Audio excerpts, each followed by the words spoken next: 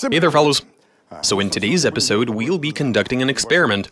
We've already tried a bunch of see through stuff. Let's make a radiator this time. We can pour some water into the system, start the engine, add a bit of dye, and get an idea of how the liquid circulates in there. That's something nobody has seen. Let us know in the comments if you have. I know I haven't. Alright then, let's make that radiator and do a bit of testing. Let's do this.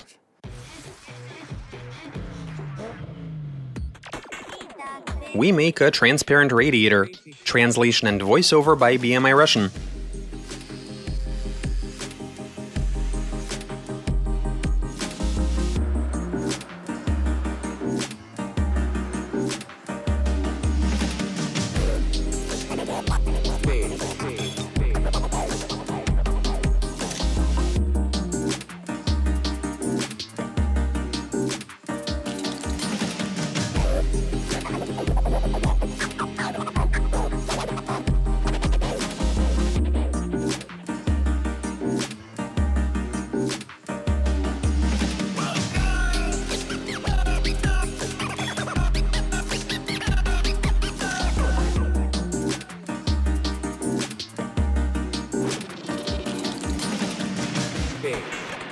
Okay, so we've pieced together and installed that transparent radiator, and the only good way to connect plexiglass to regular glass that we could think of was using windshield sealer.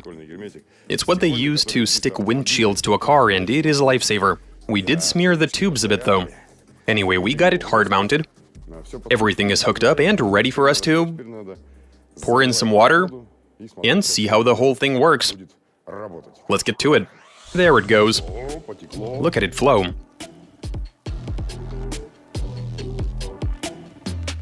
Oh wow. Holy cow. Look at it bubbling in there.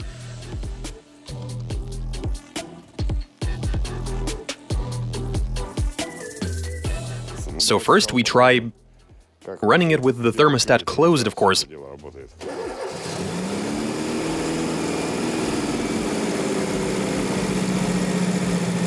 Okay, so the water pump is pulling the liquid out. We can see the level dropping significantly.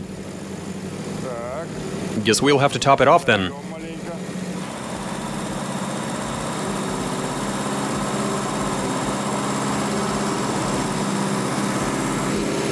So far it seems like we won't see much. The reason being, for there to be circulation in the large circle, we need...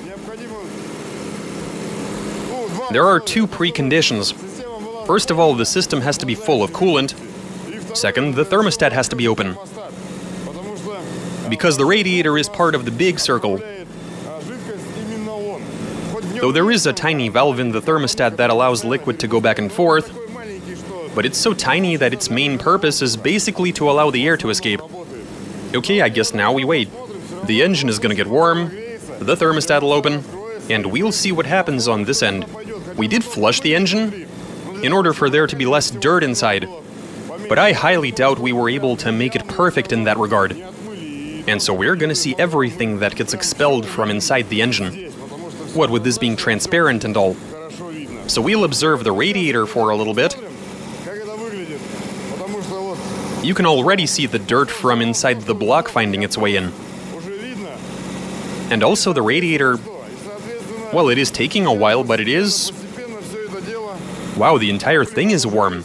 These thin tubes... Oh, wow, that's hot! Holy cow, the plexiglass isn't nearly as hot, but the regular glass is scalding. That tells us that the thermostat is open. Yeah, you can definitely see that there is circulation happening. Yep, the thermostat is open. Yeah, look at that flow. Yeah, the water pump really gets the liquid going, and the current is becoming ever more intense. Do you see how it's increasing? Oh my! It is flowing fast. It's moving like an actual river. Look at that. Impressive. Very nice. The water pump is working at full tilt. The thermostat is wide open. That is one hell of a current. It is circulating fast. These tubes have gotten extremely hot, unsurprisingly. You know, I think that in order to paint a clearer picture, switch it off. Why don't we drain the system, fill it with a bit of fresh water, and find the right moment to add a bit of dye into the mix. Let's do this.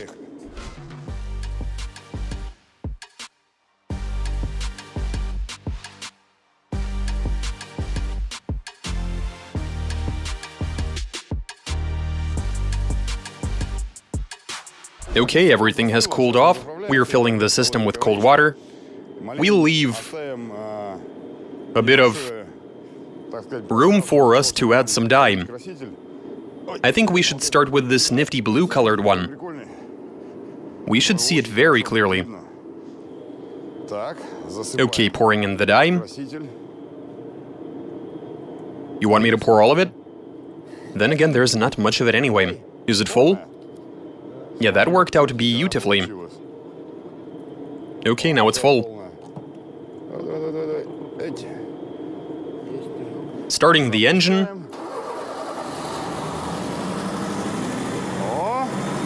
Okay, it's running.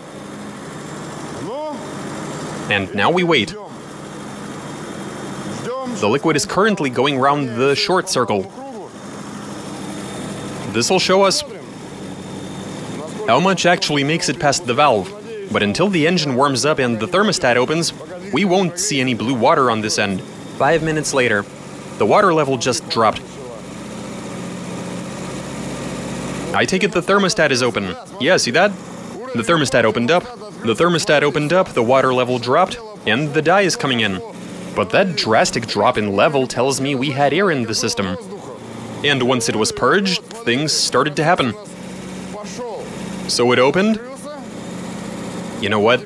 It looks like it didn't even close back, likely due to the small volume. Wow, it is such a cool thing when you can see all of this happening.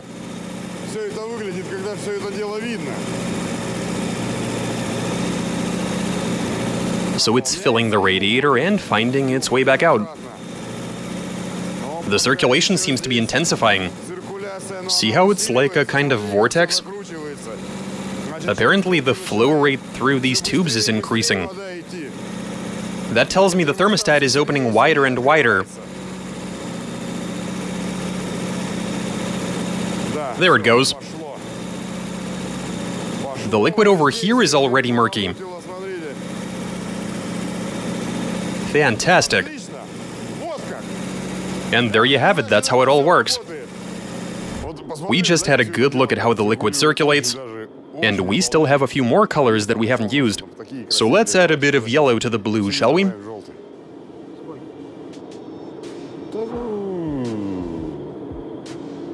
Alright, we've added the yellow. Fire it up. We've also added a bit more water.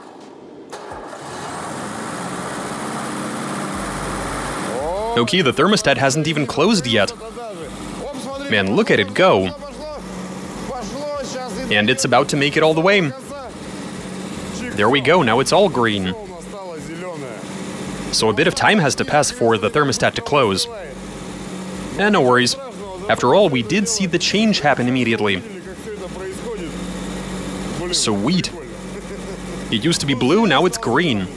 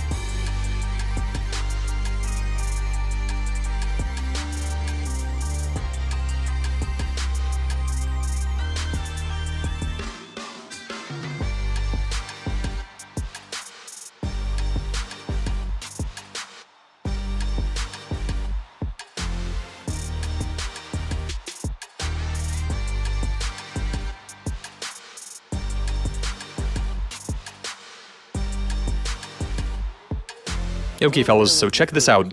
We were able to make a transparent radiator, we saw the liquid circulating inside, and it all happens real fast. The water pump really gets it going. The flow rate of liquid through the radiator is really impressive.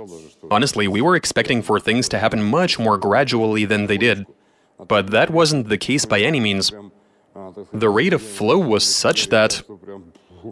Like, wow. Yeah, you look after your radiators, guys. Keep them clean. Don't allow your cars to overheat. And well, we saw it all. It was great. Hopefully you enjoyed it as much as we did. And that's all I got for you. Watch us, subscribe, send in your suggestions, comment, give us a big thumbs up. Alright, catch you later.